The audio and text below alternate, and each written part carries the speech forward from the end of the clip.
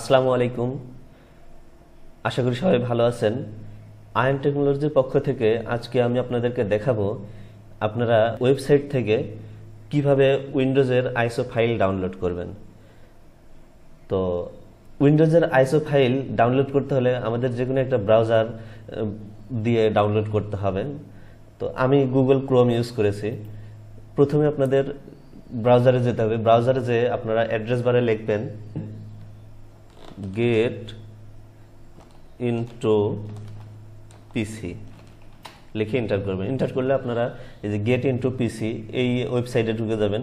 এখানে আপনারা দেখতে পাচ্ছেন, প্রথমে হোম তারপরে সফটওয়্যার ক্যাটাগরিজ এবং তৃতীয় নম্বরে আছে অপারেটিং সিস্টেম আপনারা অপারেটিং সিস্টেমের জন্য এই অপারেটিং সিস্টেমের উপরে ক্লিক করবেন।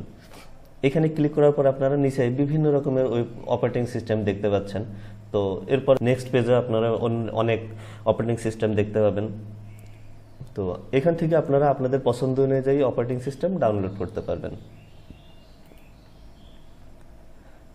তো দর্শক, আমি আপনাদেরকে Windows seven all in one thirty two by sixty four bit এই আইএসও ফাইলটা ডাউনলোড করে দেখাবো।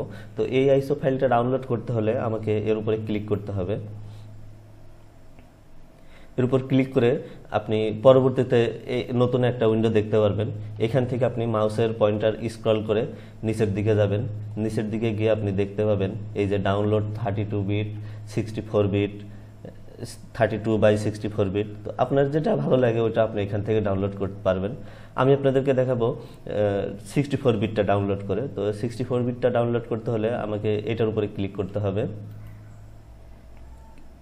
ওটার উপর ক্লিক করে আমাকে পাঁচ সেকেন্ড মতো ওয়েট করতে হবে। আপনারা দেখতে পাচ্ছেন এটা প্রসেসিং হচ্ছে।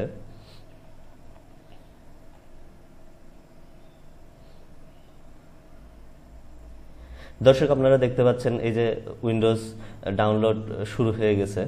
তো এটা আরও ভালো করে দেখার জন্য আপনার ব্রাউজারের ডাউনলোডে যাবেন। ডাউনলোডে গেলে আপনারা এটা ক্লিয়ারভাবে দেখতে পারবেন কতটুকু ডাউনলোড হচ্ছে এবং কতটুকু হবে, কতটা সময় লাগবে।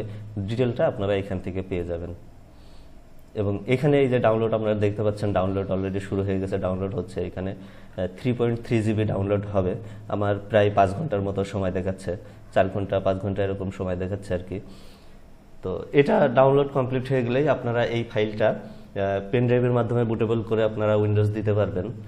তো প্রিয় দর্শক পেনড্রাইভ কীভাবে বুটেবল করবেন, এটা আমি আমার পরবর্তী ভিডিওতে অবশ্যই আপনাদেরকে দেখানোর চেষ্টা করব ইনশাল্লাহ তো প্রিয় দর্শক, আমার ভিডিওটি যদি ভালো লেগে থাকে, অবশ্যই লাইক এবং কমেন্টস করবেন, আর আমার চ্যানেলটি সাবস্ক্রাইব করে পাশের বেল আইকনটিতে ক্লিক করে দিবেন আমার পরবর্তী ভিডিওগুলো পাওয়ার জন্য।